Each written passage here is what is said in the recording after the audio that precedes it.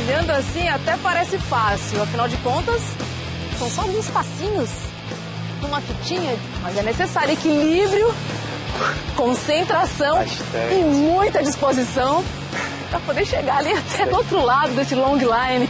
Quais são as aptidões físicas necessárias para um atleta, assim? o início começa tudo com uma brincadeira, né? De superação, de você querer dar seus passos, e quando você vai se superando, você vai vendo que o esporte é complexo, você precisa de um preparo físico, então acaba que você precisa ter um controle abdominal da força dos seus músculos muito grande e também tem que ter uma concentração muito, muito grande no que você está fazendo. Esse aqui é o long line. Para quem está começando, você indica o long, você indica uma fitinha menor. Para quem está começando, é uma fita pequena, porque o long pequena? line é muito mais complicado de começar, ainda mais aqui tem 2 metros e meio de altura, Bom, essa fitinha aqui de uma polegada. essa de 2 polegadas, 50 milímetros. Então, de novo.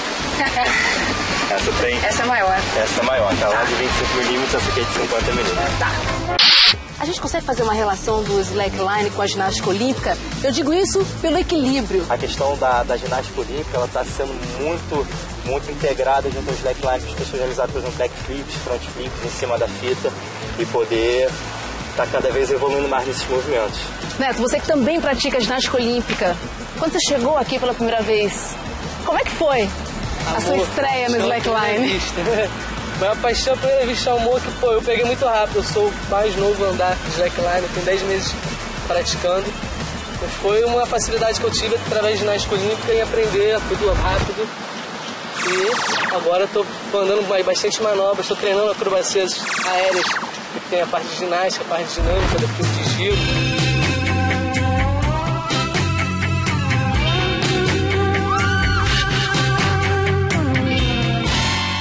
Quem está chegando aí é Jade Barbosa, da ginástica olímpica, para tirar essa história limpa.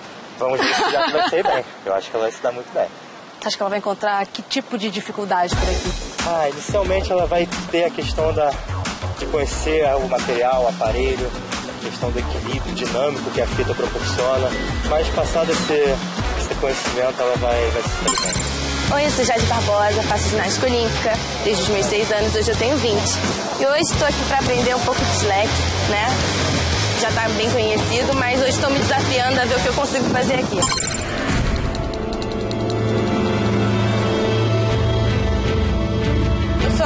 Brasileira que tem medalha no individual, que a gente chama, no mundial. Que são a soma dos quatro aparelhos, então eu sou uma menina que é mais completa. Overall. É. Mas o meu melhor aparelho é o salto.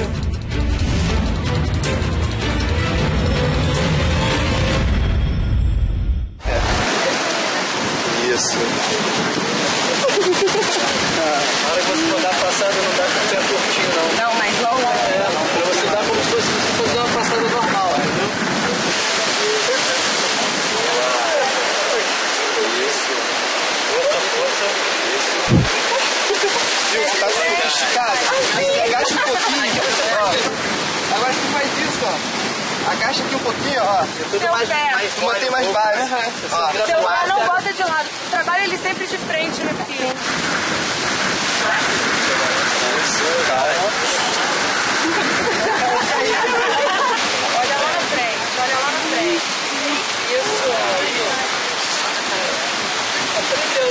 Pressiona mais o joelho Isso aí, pra controlar mais a fita. Olha pra mim. Desfilou, desfilou. O que você sentiu de diferente aqui no slackline? Eu acho que a parte que eu perdi da ginástica, que era um pouco da brincadeira, sabe? De se divertir, porque você chega lá já tem uma série, tem que fazer tudo. Aqui não, aqui é mais livre. Uma coisa é você ser atleta de clube, outra coisa é você ser atleta de seleção, outra coisa é você ser atleta de seleção e já ter muita coisa nas costas, né? Porque a gente chega numa competição e é, é muito sério já. Aquilo, por exemplo, a gente foi pro Mundial agora, que era a última chance pra, pra ir na Olimpíada. E eu subi na trave, eu caí duas vezes, isso nunca aconteceu comigo. É esse peso que é muito diferente, sabe? E o equilíbrio? Muito diferente. Muito diferente também? Muito, muito, muito, muito diferente. Aqui você tá num lugar que é instável, né? Mas não é só o equilíbrio do seu corpo, você tem que sentir a, a fita, né? Um sentimento, né? Tudo. Não depende só de você. Lá na ginástica depende só de mim. A trave vai estar parada. Aqui não, né? Tem que ter esse jogo, esse, esse preparo? A ginástica olímpica deu caminho para a gente desenvolver esse esporte. A gente vê a ideia deles nas manobras e fala, poxa, vamos tentar na fita, né? Você vai andar, depois você vai agachar assim, ó. Tudo pé. E vai voltar. Senta lá. Vamos lá. Ai, meu Deus do céu. Boa, Jari.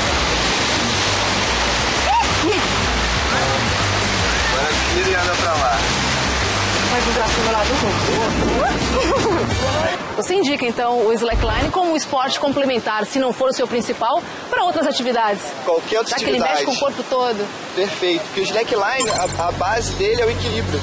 Todos os outros esportes exigem equilíbrio. Skate, surf, né? Então, a pessoa que pratica um slackline, ele ganha muito mais chances de se desenvolver em outras atividades pelo esse trabalho de eixo de equilíbrio. Eu acho que ele é base pra tudo.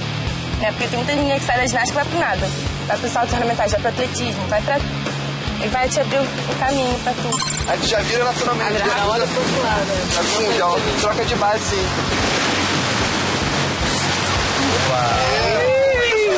O nosso prazer maior tá em cima da linha. Tá pendurado. Então, esse gosto de fazer isso faz a gente treinar manobras novas e atentar muito mais. Isso, e segura. Pode agachar mais um pouquinho. Isso, muito bom.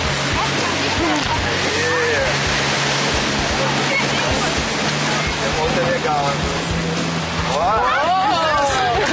Eu chegava pro Zé e falou, vamos comprar um desse porque eu quero aprender tudo.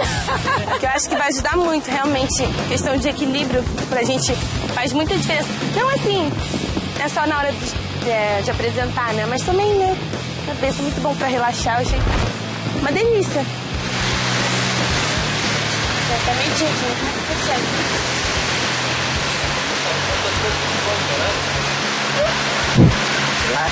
Isso. Aí, é. Aí. Não, chega. Conta pra mim, como é que está a sua aluna? Nessa aula Já foi o slackline. mestre já, vou pegar aula com ela.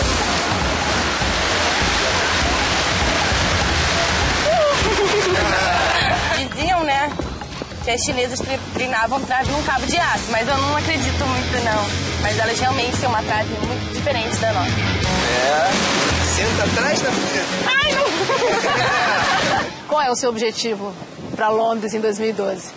Bom, é uma é a minha segunda Olimpíada, né? Muito diferente da primeira, né? Primeiro eu tinha 17, agora eu vou ter 21. Muito mais experiência, né? Vai pra uma primeira competição, você fica um pouco nervosa. A segunda já tá melhor, a terceira. Então, Olimpíada, agora a gente vai para melhorar a classificação de 2008 e conseguir a primeira medalha olímpica pro país, né? A gente já conseguiu tudo, só falta uma medalha. O Diego quase conseguiu, a Dani quase conseguiu. Mas eu acho que essa Olimpíada promete. É isso aí, até a próxima aqui no Zona de Impacto. Tchau.